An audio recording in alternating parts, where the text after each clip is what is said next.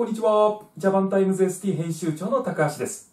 えー今週もですね、えーこちらの、えージャパンタイムズ ST の、えー最新号の中から、えー重要なボキャブラリーを一つ取り上げてですね、えー皆さんと一緒に勉強していきたいと思います。さて、えー今回取り上げるボキャブラリーは何かといったら、えーこちらです。えー adopt。えこの単語についてですね、えー今日は見ていくことにいたしましょう。で、これが出てくる記事がど,、えーどれかと言いますと、えーこちらです。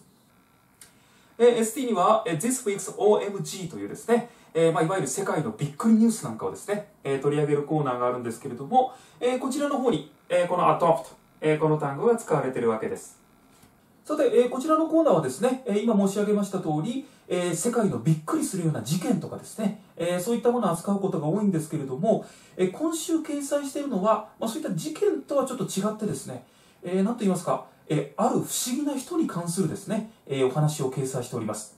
えどういうことかと言いますと、えイギリスにですね、なんか、えーヤギになりたいと、えこんな風に言い始めた人がいるらしいんですね。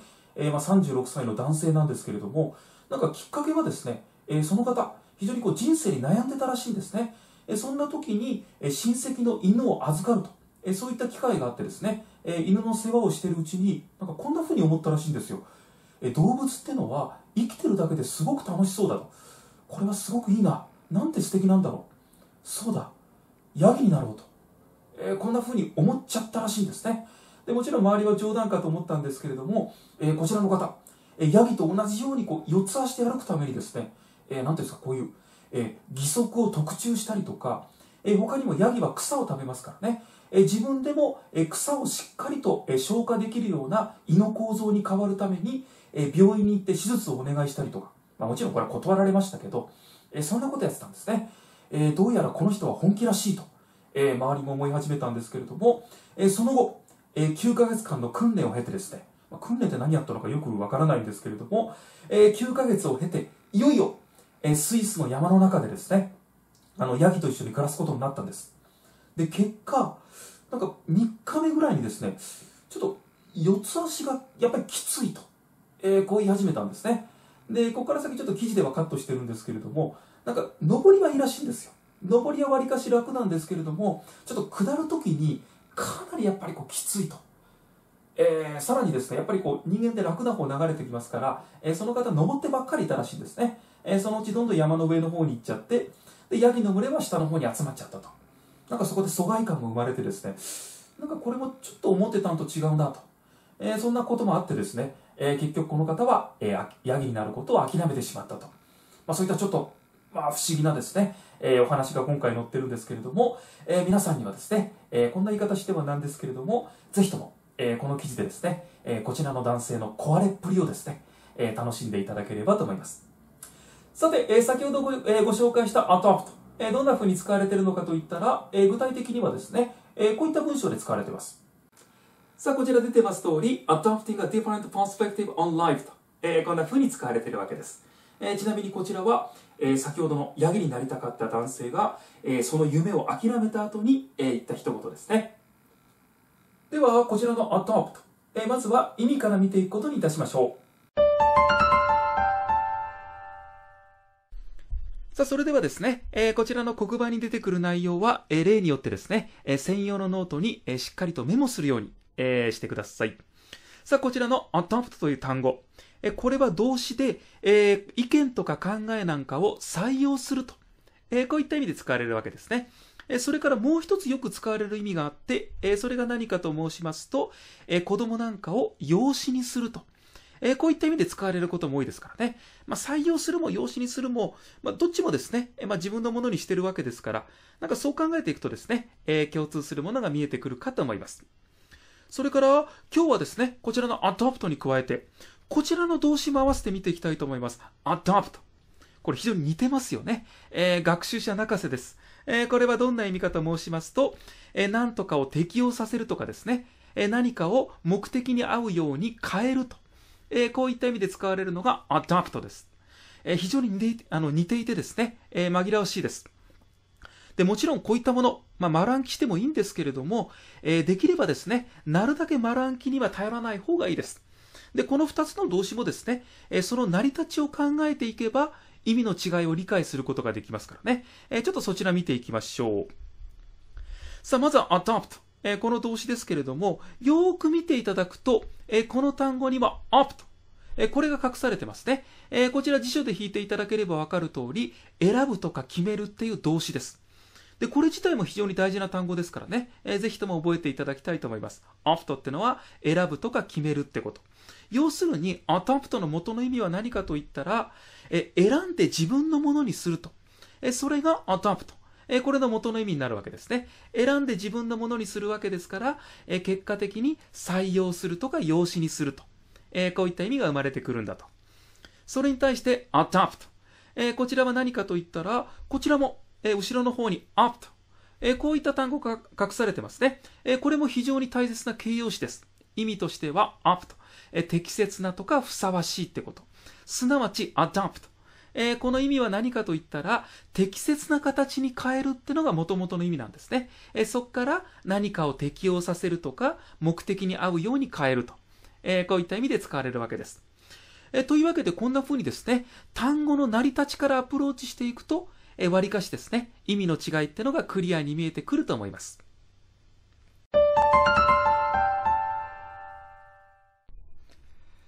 さて、えー、それではですね、意味をしっかりと理解したら、えー、続けて単語の使い方、えー、こちらを見ていくことにいたしましょう。さあ、まずは、adopt。えー、これから見ていきましょう。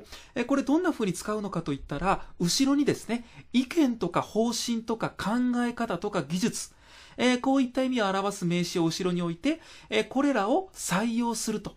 えー、こういった意味で使うのが adopt。えこれの一般的な用法ですからね。え例えばこんな風に使われます。え They adopted the new policy. え policy ってのは方針って意味ですから、これで彼らはその新しい方針を採用したと。えこんな風な意味になるわけです。それから、え先ほども言いました通り adopt。えこの動詞には、え子供なんかを養子に取ると。えー、こういった意味もありますからね。えー、例えばこんな風に使われますよ。えー、Mr. and Mrs. Walter decided to adopt a child. えー、これでどんな意味かといったら、えー、ウォルター夫妻は養子を取ることにしたと。えー、こんな風な意味になるわけですね。というわけで、まずは adopt。えー、この動詞の使い方、えー、しっかりと覚えておいてください。では続けまして adapt。え、この動詞の使い方も、え、今日は合わせてですね、え、見ていくことにいたしましょう。えまずは一般的には、 adapt の後ろには何らかの変えるもの、えこれを表す名詞が続いて、え何かを変えるって意味です。で、これだけ見ると、チェンジと似てますね。非常に似てます。ただ、チェンジと違って、 adapt は単に変えるんじゃなくて、何らかの目的に合うように何かを変えると。えそういった意味で使われるのが adapt。えこれのですね、え使い方ですからね、えしっかりと覚えておいてください。それからもう一つよく使われる用法として、こちらも今日は合わせて覚えておきましょう。え、adapt to なんとかの形で、なんとかに適応するとか、順応するって意味です。え、こういった使い方もありますからね。では、えまず上の形から見ていきましょう。こんな風に使われますよ。え They adapted the book for use in schools. えこんな風に書いてあります。え adapt the book ですから、え彼らはその本を変えたわけですね。何のために変えたのかって言ったら for use。使用のためです。どこで使用されるのかって言ったら in schools。え学校でですね。要するに意味としては、彼らは学校での使用のためにその本を、まあ、日本語風に言うなら改作したってことですね。まあ、もちろん学校で使うわけですから。例えば暴力シーンであるとか、え性的なシーンをカットするなどして、その本を変えたと。えこんな風に言ってるわけですね。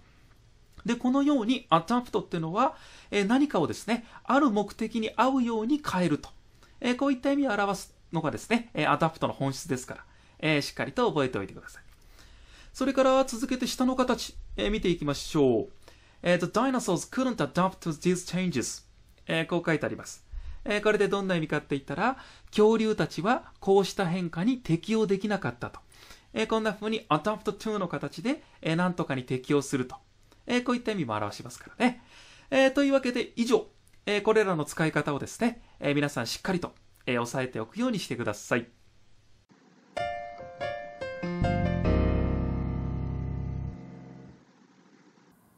さて、えー、ニュースボーズバーズボンスのコーナーです。えー、今週もですね、えー、最近メディアなんかで、えー、よく使われるようになった言葉、えー、それを見ていきたいと思います。さあ、今回紹介するのは何かといったら、えー、こちらです。Z です。えー、これを初めて見たって方いるかもしれないですけれども、えー、これでこんな意味を表すんですね。さあ、結局これ何かといったら、えー、いわゆる代名詞なんですね。えー、例えば he とか she って言ったら、えー、男性なのか女性なのかっていうのが決まってしまいますけれども、まあ、皆さんご存知の通りですね、えー、昨今、あんまりですね、えー、男性女性を強調するような言葉っていうのは、えー、あんまりよろしくないと、えー、そういった風潮があるわけですね。えー、ですから、えー、he とか she に対して、え、特に性を表さない、え、性的に中立な、え、そういったものをジェンダーニュートラルと言ったりしますけれども、いわゆる、え、性的に中立な、え、認証代名詞として、え、使うことを提案されている語です。え、もちろんあくまで提案されているだけですからね、え、実際にこれが定着するかどうかは分かりませんけどね、え、こういった語が、え、最近提案されてるんだと。え、でですね、えー、こういった、えー、性的にですね、えー、中立な語を使いたいっていう時は、え、昔だったら、え、例えば he は she を使ったりとかですね、もしくは he スラッシ she とかですね、え、他にも they を使うとか、まあ、いろんなオプションがあったんですけれども、まあ、結局この the って言葉,、え、言葉もですね、え、こういったものの一つなわけです。で実はこんな風にですね、え、性的にニュートラルな、え、代名詞っていうのは他にも実はたくさんあるんですよ。あのもしご興味のある方いらっしゃいましたら、えー、Gender Neutral Pronouns、え、これで検索していただければですね、え、たくさん出てくると思います。さて、えー、というわけで、え、今回の内容は以上です。